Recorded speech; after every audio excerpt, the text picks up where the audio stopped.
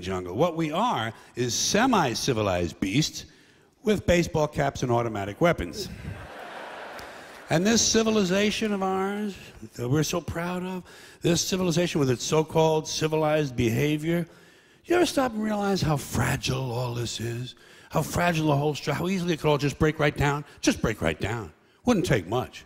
Probably happen in less than two years. Wouldn't take much all, to throw us right back into barbaric times. All you'd have to do would be eliminate electricity. That's all. But, but completely eliminate electricity. So, no electricity, no lights. You're back to candles and lanterns, campfires and bonfires. Batteries couldn't be recharged. Generators couldn't be refueled because fuel is pumped electrically.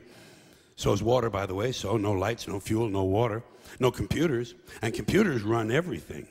And among the many things computers run and that operate on electricity are all of these security systems in all of our jails and prisons and, and nut houses. So suddenly, without electricity, all across America, the gates and cell doors of penitentiaries and mental institutions would fly open. And out would come all of our old friends.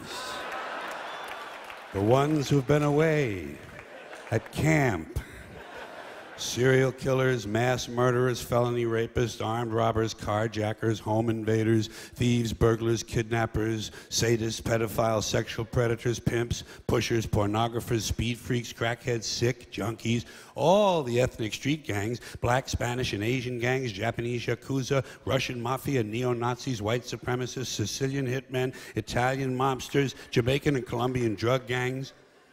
And those are just the ones we caught. Let's not forget their counterparts still on the outside right now, waiting to hook up with their prison buddies so they can start a new organization, the American Federation of Sociopaths. Just what the country needs another special interest group. Eight to ten million of them there'd be, counting all the parolees and all the probationers and the ones who've never been caught. Eight to ten million bitter, angry, violent, sexually hyperactive alpha males with nothing to do no hobbies, no medications, no scruples. Just a bunch of bad guys looking for a good time. Maybe dropping by your house. Hi, hope we're not intruding. Got any beer? Oh, good. Well, I got about 1,400 really thirsty guys here. How about women? Got any women? Oh, just your wife, huh? Well, I think we can make that work. now, boys, there's a lady here, so I want you to mind your manners and wait your turn. Police wouldn't help you. They'd be gone at the first sign of trouble. They'd be home protecting their own families. So would the Army and the National Guard. You'd be alone. You'd be on your own. You'd be SOL and JWF. Shit out of luck and jolly well fucked.